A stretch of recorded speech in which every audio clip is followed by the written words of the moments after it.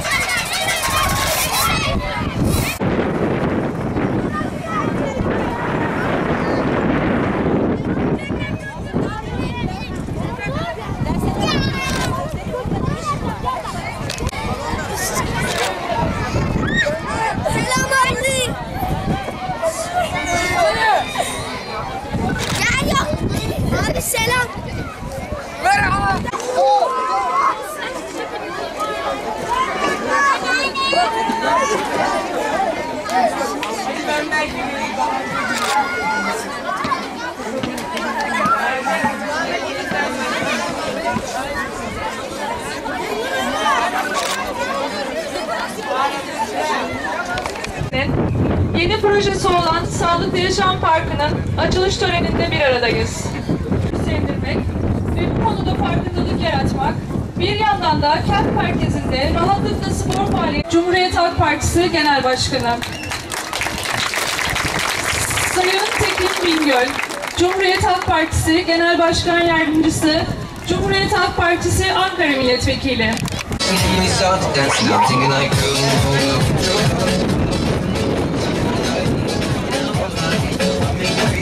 Thank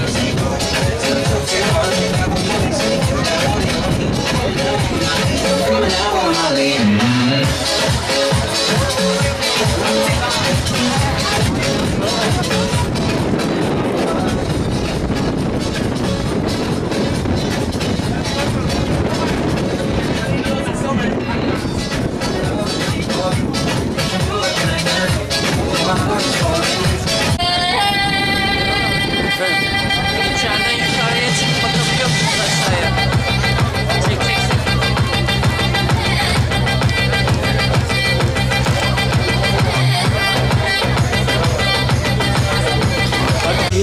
Branşta ulusal ve uluslararası müsabakalarda yarışacak sporcular yetiştirmektedir ve yetiştirmeye devam edecektir.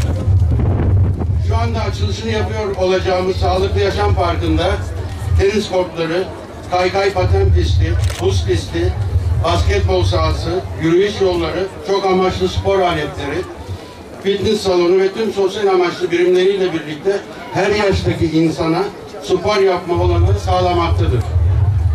Bu açıdan siz katılımcıları ve tüm Çanakkale halkını bu tesisten faydalanmaya davet ediyoruz. Çanakkale Belediyesi Sağlıklı Yaşam Parkımızı Çanakkale halkına kazandıran değerli başkanımız Sayın Gökhan- Gökhan'a ve tüm e- emeği geçenlere kulübümüz adına sonsuz teşekkür ediyoruz. Saygılar.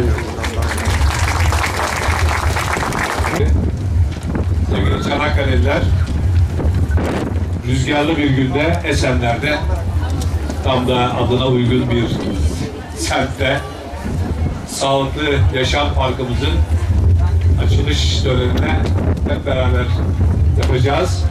Onun için hepiniz ayrı ayrı hoş geldiniz, şeref verdiniz.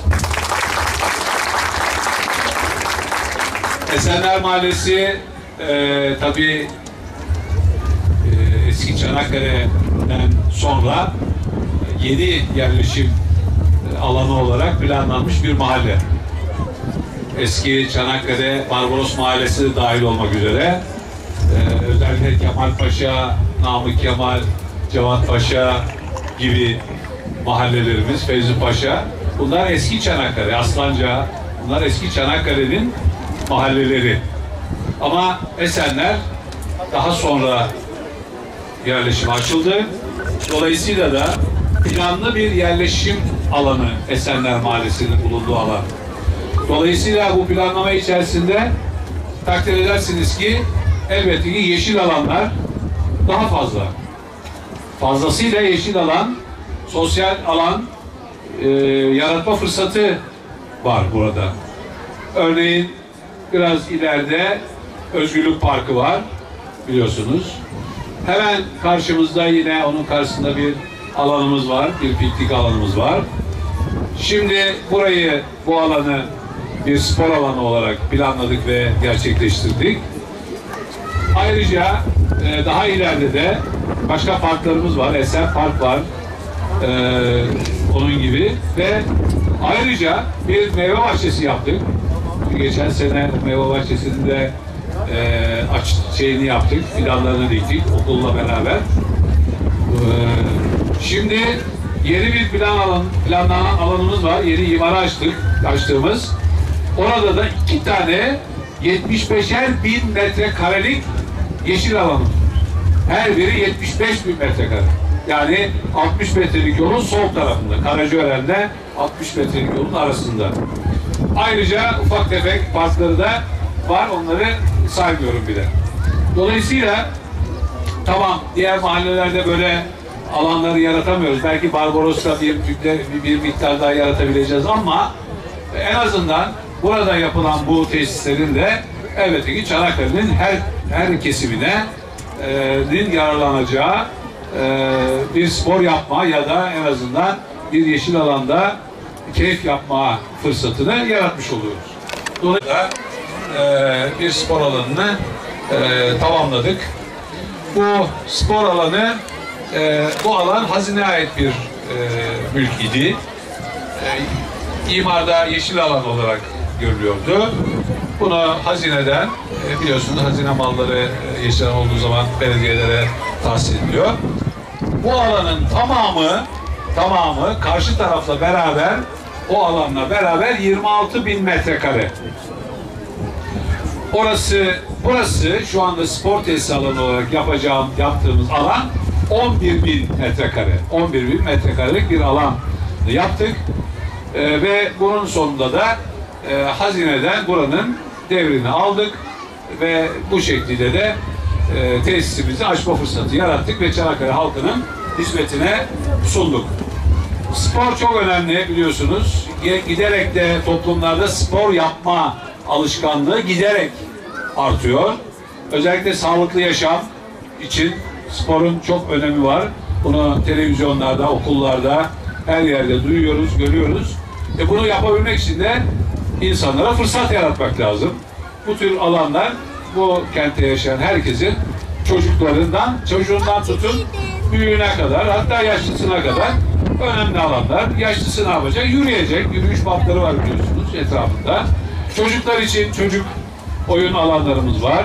Yine kafeteryamız var. Ee, burada oturmak için. İçeride biraz sonra gezeceğiz, gezeceğiz. Fitness alanları var. Bir basketbol sahamız var. Bir kaykay pistimiz var. Buz pateni, suni buz pateni pistimiz var. İki tane burada tenis kortumuz var. Yürüyüş bandımız var. Bu şekliyle e, olabildiğince daha fazla spor aktivitesinin yapılabileceği bir alan. Dolayısıyla bu e, bu fırsatı yaratmak zorundayız. Kentte yaşayanlara e, bu spor yapma fırsatını yaratmak zorundayız. Çünkü e, Ulu Önderimizin Mustafa Kemal Atatürk'ün bir sözü var biliyorsunuz. Sağlam kafa sağlam vücutta bulunur. Çok doğru bir söz. Yani spor e, çok önemli. E, sağlam kafa, kafanın çalışması için spor aktivitesi çok önemli. Şimdi biraz önce e, Lapseki'den gelmiş bir öğretmenle iki tane öğrencisi vardı. Nerelerde onlar? Hangi okuldu? Ple, Lapsek, Plevne Ortaokulu. Plevne Ortaokulu hocasıyla iki öğrencisi. Onlar benimle röportaj yapmak için şimdi açılıştan sonra görüşeceğiz. Nedir röportaj konusu? Konu şu. acaba öğrenciler spora ilgi duyarlarsa derslerinden geri kalırlar mı? Ailelerde böyle bir anlayış vardır biliyorsunuz. Oğlum bırak topu şimdi dersine çalış gibi değil mi? İşte topu bırakmadan başarı olabilir mi diye soracaklarmış. Ben şimdiden söyleyeyim. Kesinlikle spor yapan daha başarılı olur. Bunu iddia ediyorum. Ben de etmiyorum, uzmanlar da ediyor. Öyle söylüyorlar. Ben onun için iddia ediyorum. Bildiğim için değil, uzmanların söylediği için. Biliyorsunuz Batı ülkelerinde e, ders başarıları, okul başarıları için çocukların spor yapan çocuklar, kültürel hizmetlerde olan çocuklar puan ekstra puan alırlar. Yani derslerinden örneğin bir örnek vereyim 7 yani 10 üzerinden 7 aldıysa o çocuğun başarısına bir puan da bu bağlamda bu lisanslı sporcu ya da bir e, sosyal tiyatro gibi, müzik gibi aktivite alanlarında e, çaba göstermiş çocuklara ilave puanlar almış için. Onları bu illetin tuzağına düşmemeleri için kesinlikle spor noktasında, aktivite noktasında onlara her türlü imkanı yaratmak hepimizin boynunun borcu. Sadece devlete bırakılmaz. Hep beraber biz de yerel yönetimlerde, ailelerde, okullarda, sosyal kurumlarda hepimiz gençlerin aktivitelerde, sosyal, kültürel ve sportif aktivitelerde bulunmaları için onlara fırsat yaratmak boynumuzun borcudur. Bir kere bunu bir kez daha e, söylemiş olayım. Evet, burada tekrar e, bir konuyu burayı biraz sonra gezeceğiz. E, dediğim gibi yukarı içeride e, alt katta ve üst katta fitness üzerine al- salonlar var. Orada da e, gelip karşılayıcılarımız var. Onlar abonelik alacaklar. Burada hocalar nezaretinde, bilgili hocalar nezaretinde burada e, onlara çalıştıracaklar. Hem spor alanlarını hem buradaki alanlarda burada hizmete vermeye e, başladık. E, inşallah açılıştan hemen sonra da bunu hızlı bir biçimde e, yaygınlaştıracağız. Ben e, bu açılış olmadan önce, birkaç ay önce e, maalesef biliyorsunuz bir şehidimiz var. E, Asubay Kıvanç Kaşıkçı şehidimiz var. Onunla ilgili demiştim ki ailesine yani bu alan o da evi de şurada zaten yakında aynı mahallenin içerisinde. Ee, eğer müsaade ederseniz bu alanı şehidimizin adına da şey yapalım, e, verelim. O şekilde anılsın. Çünkü isim yok biliyorsunuz. Sadece Sağlıklı Yaşam Parkı şey koymadık. Evet. Ee, önümüzdeki mecliste belediye meclisine getireceğim konuyu. Belediye meclis kararı gerekiyor biliyorsunuz. İnşallah belediye meclisimiz bu kararı verecektir. Onda hiçbir tereddüt yok. Ve daha sonra yine önümüzdeki ay için belki Ramazan'dan sonra olabilir.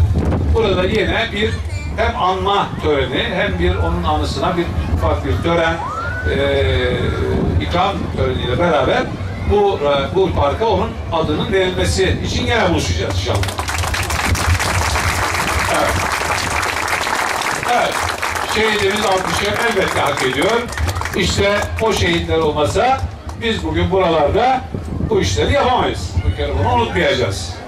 O şehitler sayesinde ayaktayız, burada duruyoruz.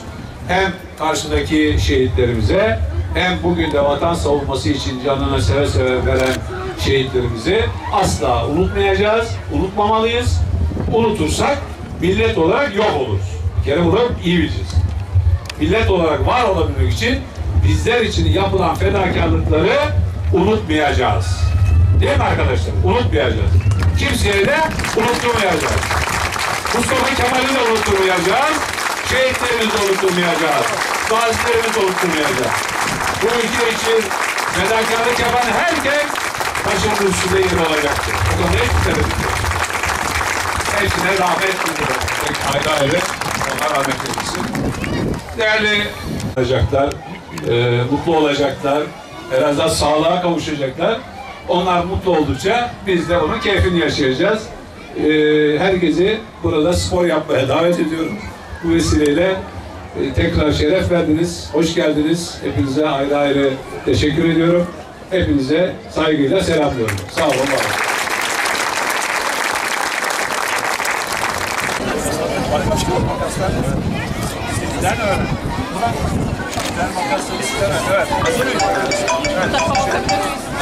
Hadi ya Allah bismillah. Hayırlı olsun. Gerçek